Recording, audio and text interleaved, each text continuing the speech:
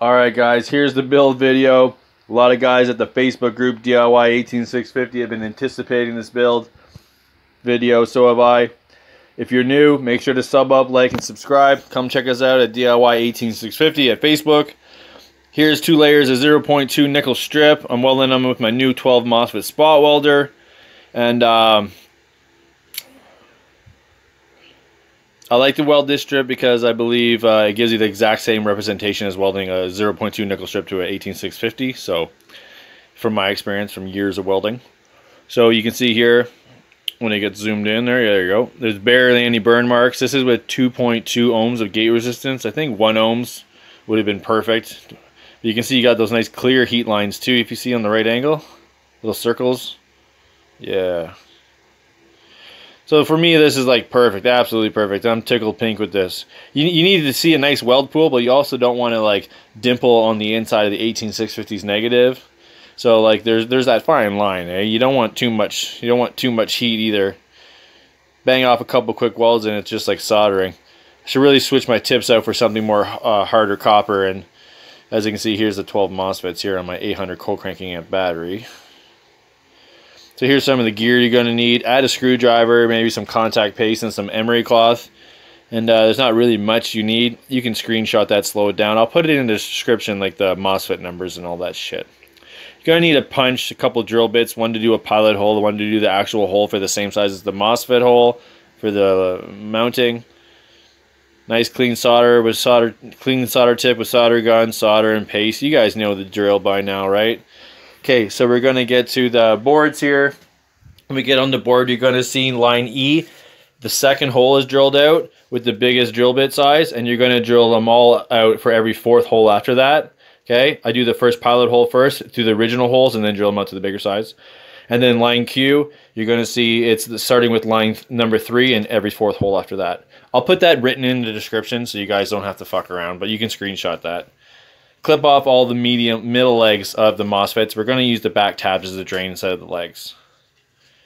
Lay all your material, and right now is when I would sand with emery cloth the black the back of the MOSFETs and the aluminum bars and make them conductive. Just for the build video, I just threw them together without sanding them first, just so you guys could get visuals and I could uh, make sure to get nice pictures and all that, you know, bullshit. So uh, you'll see here, I have the first legs, which are the gates of all the MOSFETs when they're screwed down. I have uh, the first legs pushed through the first hole on line K, and then every fourth hole after that through line K. Then I have the the sources just pinned up with the eyelets here. Just have everything mocked up. When I actually put it together, I used a little Dremel and even made sure that underneath the eyelets there was like all the aluminum oxide was scraped away. So you'll see here on this picture here that I got uh, got it soldered in. So there's a little bit of pink you can see on the eyelets. Some of the tinning came off. I was pretty hot on that. Had the gun at about 400 degrees. I should have had about 375, obviously. Big tip on there too. So here's 2.2 UF from the gate input to the gate rail. There's a 1K pull down resistor from the source to the gate. Alright guys, we're just set up here for, we'll do a little clip here about tricks and tips and a little bit about information about how I build this and set it up. So uh, one thing is good to know is that uh, I use aluminum to dissipate the heat. We have an expectancy of about 800 amps to be pulsing through here. So we got to dissipate that heat to keep our MOSFETs working properly. You know, who hasn't opened something that has MOSFETs in it and seen that it has a heat sink, right? Yeah. So this is just pretty basic. You know, we need something to dissipate the heat. You know, uh, we're pulsating 800 amps. So I go with uh, at least uh, 30 plus percent of that on the continuous on my MOSFETs. Peak is a good thing. Always go for peak. But, uh, you know, I like to say if you're using 800 cold cranking amp battery, you're maybe, let's say you're welding at 800 amps, I probably want at least 800 amps of continuous on my MOSFETs plus 30%. Just to keep everything safe, you know what I mean? And uh, I like to polish the aluminum, polish the back of the MOSFETs, make sure that everything's going to be, you know, have be able to be contact with each other. Put a little contact paste also underneath there. You can see it smeared out, hanging out. And then what I like to do, back the camera up a bit again. I like to just uh, go and check every spot. Oops, I don't know if you can see my other hand there. There you go. I like to just go and check every spot. Make sure it's all hooked up. Same on the output outs. Do the screws, all of them. Do all the tabs. Then I'm going to set it to ohms. I'm going to do the same thing. Just going to check all the legs. 0.1 ohms. Let's go on through all of them, make sure that it's uh, they're all the same. You know, like I've already done this, so I'm not going to do them all. But this is just, this is the meter is just ensuring you that you've done your job and you've properly installed all the MOSFETs appropriately, so they have proper contact and the same path of resistance as all the other sister or paralleled switches that are paired up with it. We have a bunch of switches. They're working as a team. They need to be hooked up as a team in the same with the same resistance. Hopefully that makes sense. So I do that and I'm like, okay, we're good. No issues with con like con continuity. Everything's connected, right? So a lot of people still might go down the comments and ask for a schematic. Yes, I have written many schematics about this. It's on my computer. That's kind of ridiculous. Guys, look at all of the legs are in parallel, okay? This is the inputs. All the inputs are in parallel. They all have continuity, low resistance. All of the outputs, same thing. They're all hooked up in parallel. They all have continuity. They all have low resistance. The gate legs, all the first legs, they go underneath the board. They're all hooked up in parallel. They all have low resistance. You know what I mean? Same thing. We're all good. 1K pull down resistor from the gate rail to the input gate rail to the input, 1K.